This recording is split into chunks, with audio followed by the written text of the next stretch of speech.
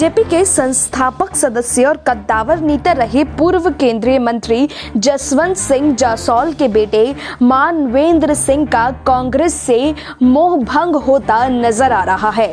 Party में लगातार होती उपेक्षा से आहत मानवेंद्र एक बार फिर अपनी पुरानी पार्टी यानी बीजेपी से नजदीकियाँ बढ़ा रहे हैं। पार्टी में उनकी सम्मानजनक वापसी की सुगबुगाहट तेज होती जा रही है। बताया जा रहा है कि बीजेपी इन दिनों वसुंधरा राजे के धुर विरोधी नेताओं को वापस जोड़कर पार्टी का आधार मज़बूत करने में जुटी हुई है। हालाँकि मानवेंद्र ने इस बारे में चुप्पी साध रखी है। उनके करीबी लोगों का कहना है कि कुछ दिनों में सब कुछ स्पष्ट हो जाएगा। मानवेंद्र वसुंधरा राजे के धुर विरोधी माने जाते हैं। पिछला विधानसभा चुनाव भी उन्होंने वसुंधरा राजे के खिलाफ लड़ा था।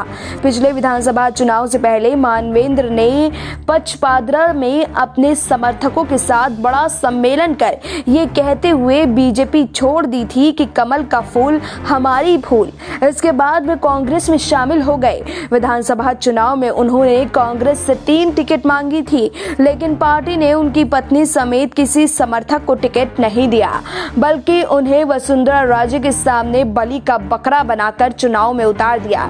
यहीं से मानवेंद्र के मन में आक्रोश पनपना शुरू हो गया।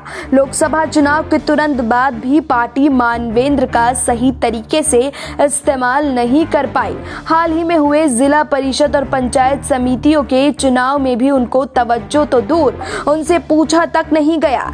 इसके बाद कांग्रेस में अकेले पड़ चुके मानवेंद्र के सामने और कोई विकल्प नहीं रह गया। जसवंत सिंह का राजपूत समाज पर गहरा प्रभाव रहा था। अभी भी समाज के लोग मानवेंद्र से उम्मीद लगाए बैठे हैं। एक बार सांसद और एक बार विधायक रह चुके मानवेंद्र का बाड़मेर और जैसलमेर समेत जोधपुर और जालौर क्षेत्र में अच्छी पकड़ है। उनके कांग्रेस छोड़ने से इसका सीधा लाभ बीजेपी को मिलेगा।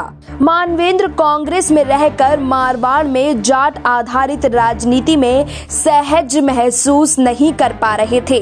बाड़मेर के स्थानीय नेता उनके विरोध में डटे थे। स्थानीय नेताओं के विरोध के कारण विधानसभा चुनाव में उनकी पत्नी चित्रा को टिकट नहीं मिल पाया। मानवेंद्र बीजेपी में सम्मानजनक वापस की कोशिश में जुटे हुए हैं, लेकिन ये राह उतनी आसान नहीं है।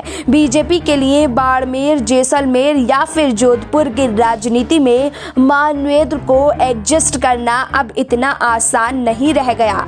जोधपुर में केंद्रीय जल शक्ति मंत्री गजेंद्र सिंह शेखावत एक राजपूत नेता के रूप में अपना पाँव जमा चुके हैं। वहीं बाड़मेर और जैसलमेर के सांसद रह चुके मानवेंद्र के स्थान पर अब वो केंद्रीय कृषि राज्य मंत्री कैलाश चौधरी काबिज हो चुके हैं। ऐसे में बीजेपी में स्थानीय स्तर पर भी मानवेंद्र को विरोध का सामना करना पड़ सकता है।